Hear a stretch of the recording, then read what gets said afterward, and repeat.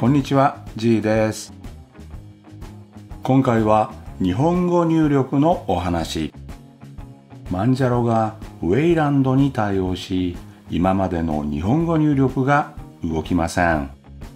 そこで日本語入力に特化した情報をお送りします。マンジャロ22.04からラズパイ版もウェイランドが標準設定となりました。すでにマンジャロを使ってる方はアップデートしても X11 のままです。多分現状の環境を壊さない配慮と思います。私が Pi4 で常用しているマンジャロ KDE21.12 はアップデート後もウェイランドではありません。画面のようにログイン画面ではセッションが選べない。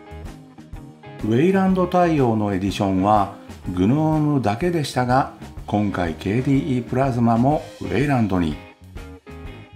他のエディション Xspace、Mate、Sway は X11 のままです。ウェイランドの是非はともかく今後はウェイランドになるのは規定路線です。ただウェイランド自身が発展途上で統合は始まったばかりですしたがってまだ恩恵は少なく逆に不具合があるかもですしかし今後急速に改善改良が進んでいくと思います今まで通りで構わないという方は画面のサイトで旧バージョンのラズパイ用イメージをダウンロードできます。おすすめはしませんけど。さて、今までの日本語入力は Fitex4 なんですが、ウェイランドでは動作しません。そこで0からのインストールでウェイランドでの日本語入力をご紹介します。画面のサイトからイメージをダウンロード。ここでは画面のファイルを使用しました。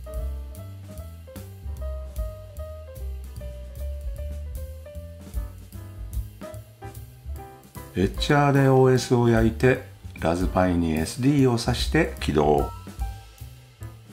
初期設定画面では日本語を選びリージョンは東京。キーボードはジャパニーズ。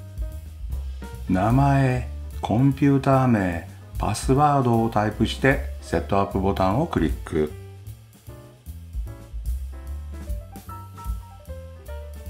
リスタート後ログイン画面が表示されます。この時画面左下をご覧ください。デスクトップセッションがデフォルトでプラズマウェイランドになっていて X11 も選択できるようになりました。うん、作業前にデスクトップ背景が暗くていけてないので適当に変更します。さて、日本語設定です。ウェイランドでは Fitex5 を使用します。ターミナルを立ち上げて画面のようにタイプ。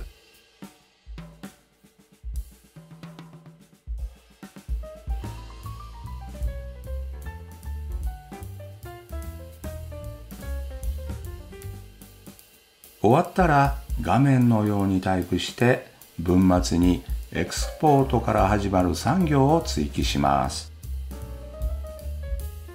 Vitex4 では X プロファイル書類を作成したんですが、ウェイランドではエンバイロメントファイルに追記します。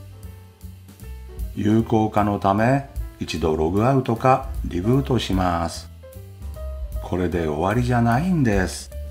もう少し設定が必要です KDE システム設定の地域の設定を開きます。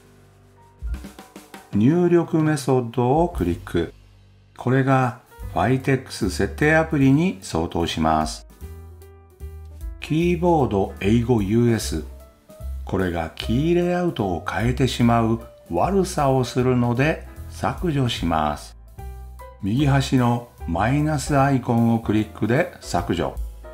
次に右下の入力メソッドを追加をクリック。キーボード日本語を選んで追加します。文字の左のアイコンをドラッグしてキーボード日本語を上に並べ替えます。エラー表示されますが無視して構いません。右下の適用ボタンをクリックでこの設定は終わりです。次にグローバルオプションを設定をクリック。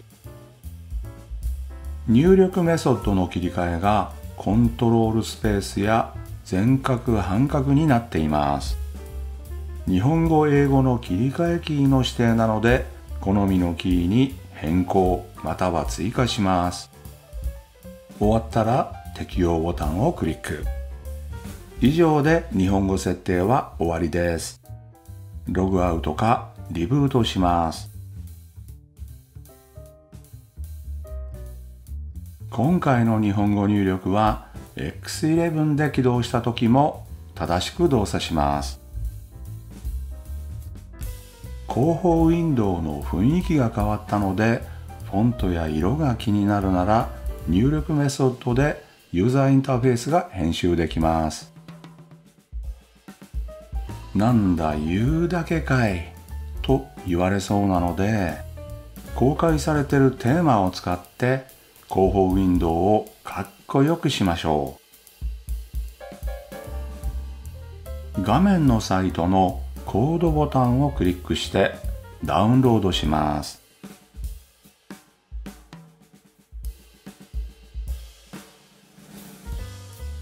ダウンロードフォルダー内に ZIP ファイルができているのでダブルクリックして展開します。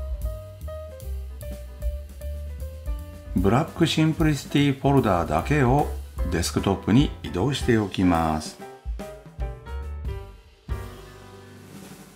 ファイルマネージャーでホームの階層を表示します。隠しファイルを表示させドットローカルシェアファイテクス5フォルダーを開きます。テーマスフォルダー内にブラックシンプリシティフォルダーを移動してリスタートします。KDE システム設定で入力メソッドを開きアドオンを設定をクリック。クラシックユーザーインターフェースをクリックしてテーマからブラックシンプリシティを選択。適用ボタンをクリックして終わりです。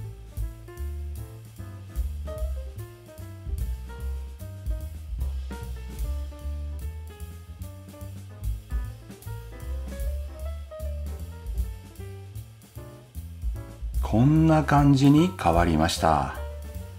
いいじゃないですか。ともっとかっこよくしたい方は自力構成で。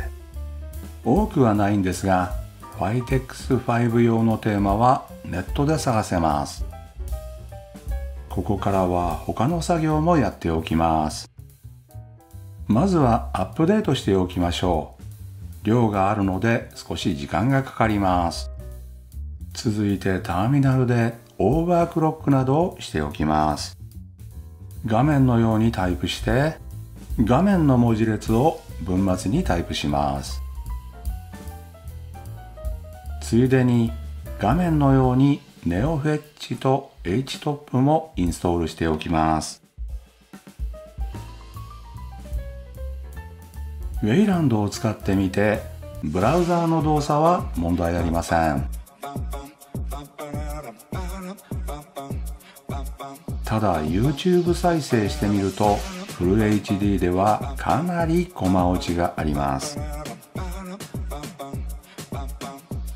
X11 で起動しても同じで XFace 版でも同じ傾向。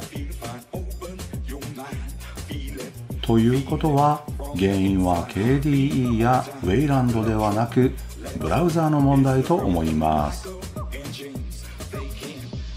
ハードウェア支援も動作していないようですが時間とともに改善されるでしょう。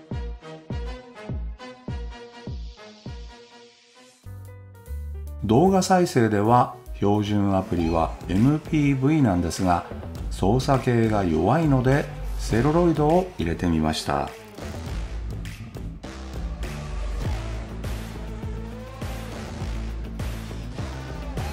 セロロイドはうまく動作するんですがウェイランドだとなんか終了時の挙動がおかしい。念のため VLC も導入。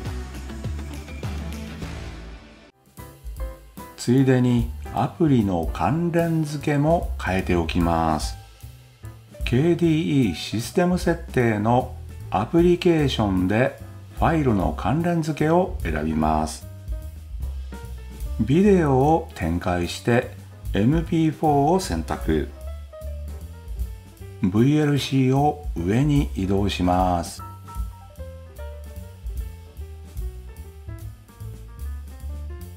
WebM と QuickTime も同様に設定しておきます。これで動画をダブルクリックすると優先度の高い VLC で再生が始まりますね。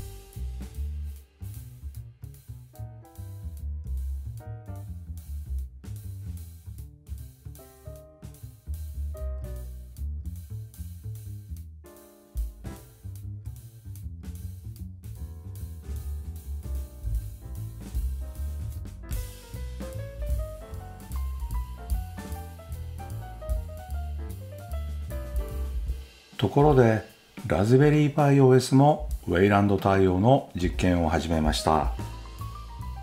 ラズパイコンフィグでウェイランドを有効にできます。でも絶対試さないようにすごく危ないから。ウェイランドは違いがわからないほどうまく機能しています。まだ見える恩恵は少ないですけどね。ウェイランドサービーじゃないソフトもまだありますしね。以前の動画でもご案内したんですが X11 は長く使われその分複雑になっていて将来が不安。だからその代替としてウェイランドが開発されました。今はまだ途上なので動かない。五感がないといったトラブルもついて回ります。でもでも不都合には目をつむって先取りを楽しんではいかがでしょう。ご覧いただきありがとうございました。知人の話です。病院で先生に何か困ったことはないですか？と問われ最近さっぱり走れなくなったんですよ。と言うとその年で走る必要ないでしょうと言われたそうです。大きなお世話だよ。走りたいんだから。走らないとトイレが間に合わない。ではまた次回。